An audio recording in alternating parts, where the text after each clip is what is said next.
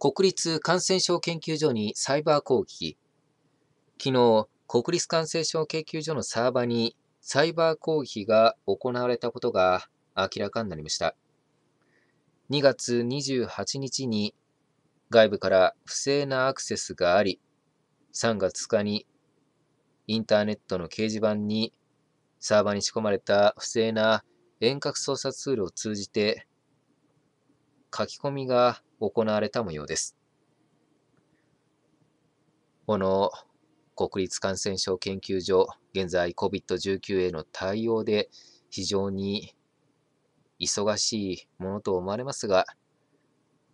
今後もこのようなサイバー攻撃が続く恐れがございますので、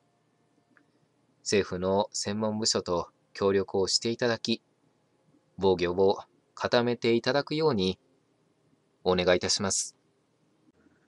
以上になります。ご清聴いただきありがとうございました。